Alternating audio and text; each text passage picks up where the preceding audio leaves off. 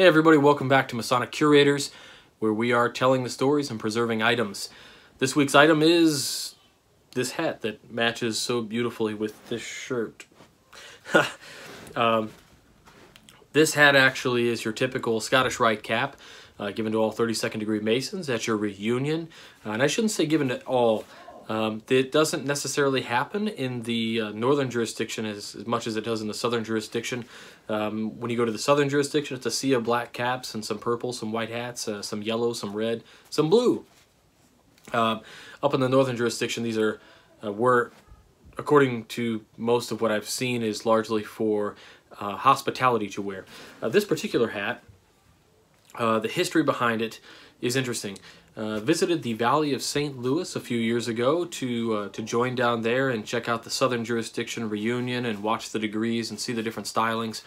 Um, and I was approached and said, "Hey, brother, where is your cap?" And I said, "Well, I, I really don't have one." And they said, "Oh, that's okay."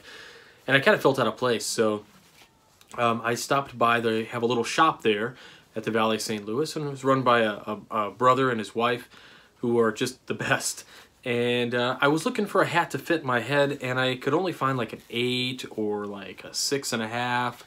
Um, I'm a seven and a half and I couldn't find one so I was just gonna bite the bullet and buy this size eight hat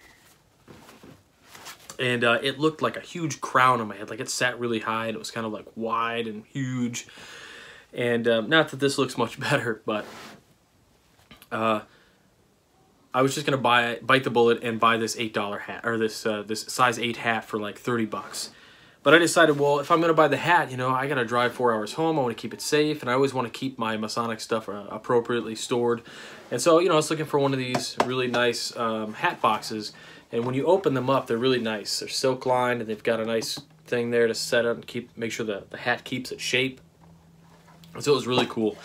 And so I found this one, and it was like 15 bucks. Um, but what was crazy was I opened it up and actually this hat was inside.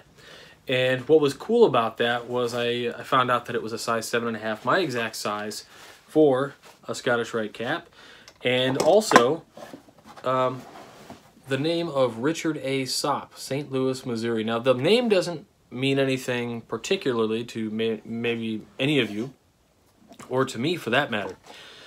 Uh, but what was kind of serendipitous was the fact that I needed a hat. I found it in the box that I wanted. And rather than buying a brand new hat, I was able to honor a brother by continuing to wear his hat.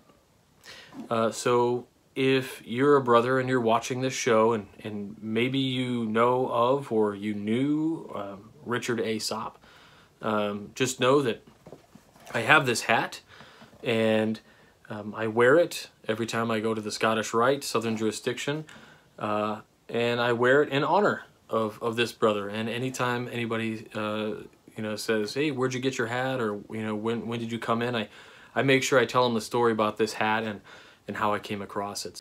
And that's it. So I'll talk to you guys all real soon. Take care.